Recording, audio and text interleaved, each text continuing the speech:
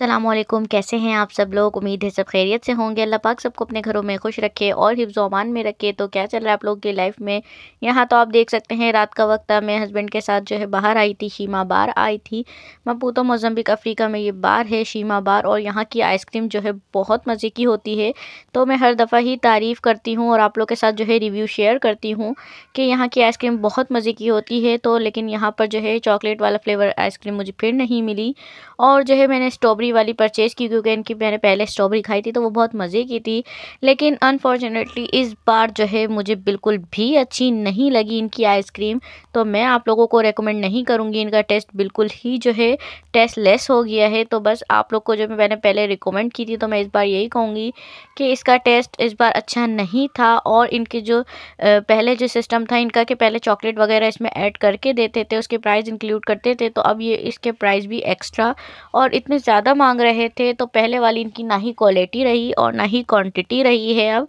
तो बस इसलिए मैंने कहा, क्यों ना आप लोगों के साथ शीमा बार का रिव्यू जो है शेयर करूँ। ये मपूतो मोजम्बिक अफ्रीका में जो है बार है शीमा। तो यहाँ की आइसक्रीम अच्छी होती थी, मैं हमेशा ही रिव्यू शेयर करती थी तो लेकिन इस बार जो है अच्छी नहीं थी तो मैंने कहा, क्यों ना आप लोगों के साथ हॉनेस्ट रिव्यू शेयर करूँ? बस इन्होंने इस तरह से ये आइसक्रीम दे दी थी। और पहले जो है ये अच्छे से चॉकलेट वगैरह इसमें ऐड करते थे बीच बीच में, और जो है इस पर कैप रखते थे। कुछ इस तरह से ये कप में देते थे, अगर आप टेक अवे लेते हैं तो। लेकिन इस बार जो है इस तरह से, और यहाँ पर ये फायर की तरह कुछ लगा हुआ था तो मुझे अच्छा लग रहा था। तो मैंने कहा, क्यों ना आप लोग के साथ शेयर करूँ? और ये यहाँ पर रोड था, ये अलतुमई पे ही बना हुआ है शिमा बार।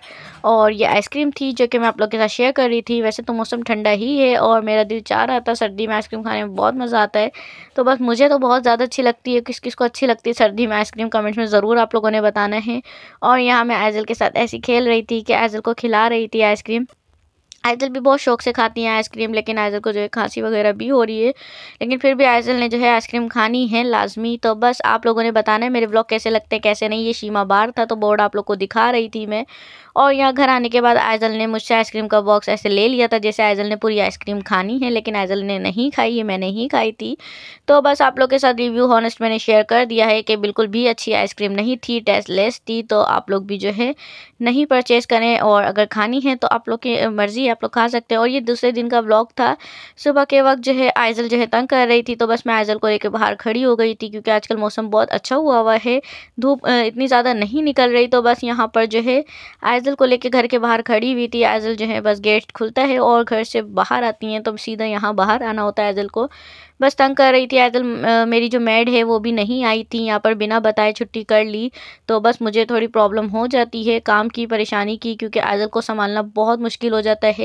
काम के साथ साथ तो यही होता है, मैं जो है मैड को दे देती हूँ। आयदल को जब खाना वगैरह बनाती हूँ, काम वगैरह कुछ करती हूँ मैं तो आयदल को मैड संभाल लेती है बाहर यहाँ पर टहला देती हैं सहन वगैरह में तो ये होता है। लेकिन अभी जो है मुझे बहुत ज़्यादा मुश्किल हो रही थी तो मैं आयजल को जो है नाश्ते के बाद यहाँ पर जो है टहला रही थी कि आयजल का मूड अच्छा हो जाए आयजल तंग ना करे तो बस यहाँ पर खड़ी हो गई थी। तो मैंने कहा, क्यों ना आप लोगों के साथ रिकॉर्ड भी कर लूँ शेयर भी कर लूँ, कि आप लोग भी देखें इन्जॉय करें वेदर को। यहाँ मपूदा मोजम्बिक अफ्रीका के। तो और यहाँ पर जो है ये देख सकते हैं कि मैं जो है बना रही थी प्याज ब्राउन हो रही थी तो इसमें मैं जो है ये ऐड करूँगी।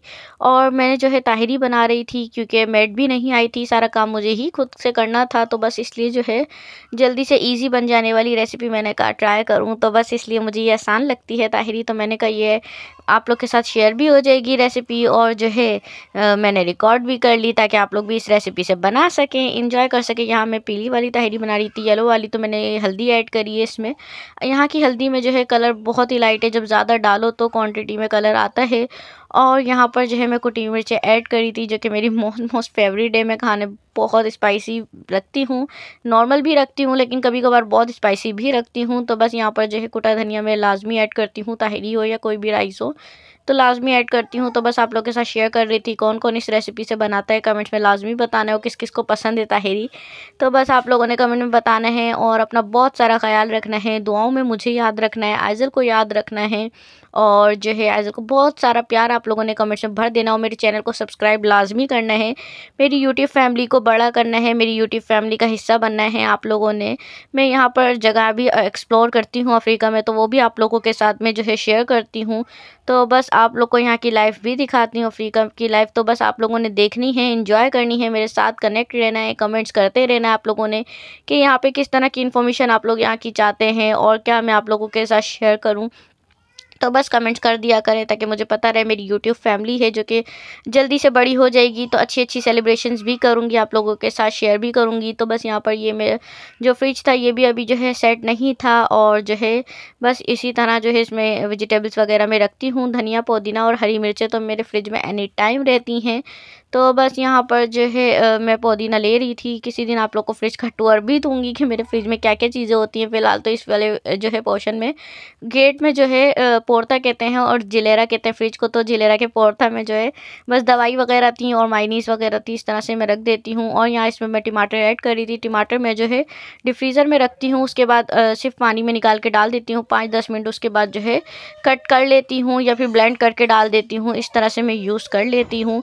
तो कौन कौन कौन टमाटर को इस तरह से सेव करता है तो मैं इसी तरह से सेव करती हूँ, टमाटर लाती हूँ और डिफ्रीज़र में रख देती हूँ। मेरा यही होता है और यहाँ पर ये मैं पुदीना जो था वॉश करके फिर इसमें ऐड कर रही थी तो बहुत ही मज़ेदार यमी सी, चटपटी सी बनी थी इसकी फ़ाइनल लुक जो वो मैं आप लोग के साथ शेयर नहीं कर पाई क्योंकि हस्बैंड आ गए थे और फिर खाना निकाल लिया था तो बहुत भूख लग रही थी, इस वजह से जो मैं फ़ाइनल लुक नहीं शेयर कर पाई इसकी।